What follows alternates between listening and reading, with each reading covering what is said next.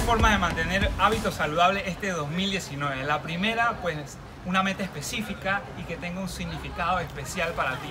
La segunda, eh, busca apoyo, conéctate con gente que te aporten a tu meta. E, ese apoyo es fundamental para mantenerte fuerte y constante. Y la tercera, precisamente, es la constancia en, tu meta, porque entre más constante, a pesar, van a haber momentos eh, de altibajos y esa constancia va a hacer que te mantengas firme en tu meta.